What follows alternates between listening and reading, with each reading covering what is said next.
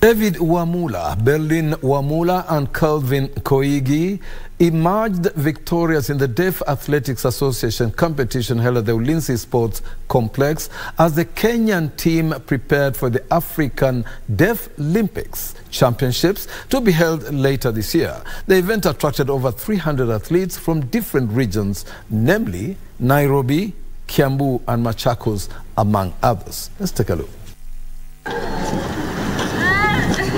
David Wamula clocked 23.1 seconds to emerge victorious in the men's 200 meters final ahead of Charles Muthama and Kelvin Kipkoech, who settled for second and third position respectively at the Nairobi Region Deaf Athletics Championship. I feel very excited because I, I, I because I, I there is a time I missed an opportunity running back because I had a problem with my leg. But now that that I'm back and in training and I'm continue training with the time, I want to break a, a record, and uh, my goal is to win the gold medal.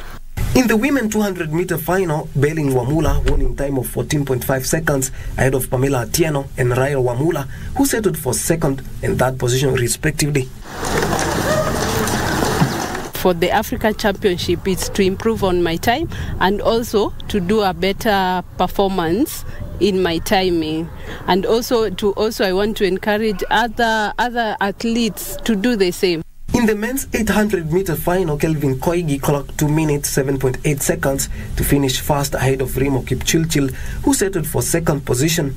We are here to encourage the deaf people and to make sure that uh, we have normal participants and deaf participants the, because the deaf participants also have skills and we need support and encouragement so that their skills can be able to grow and uh, increase their life.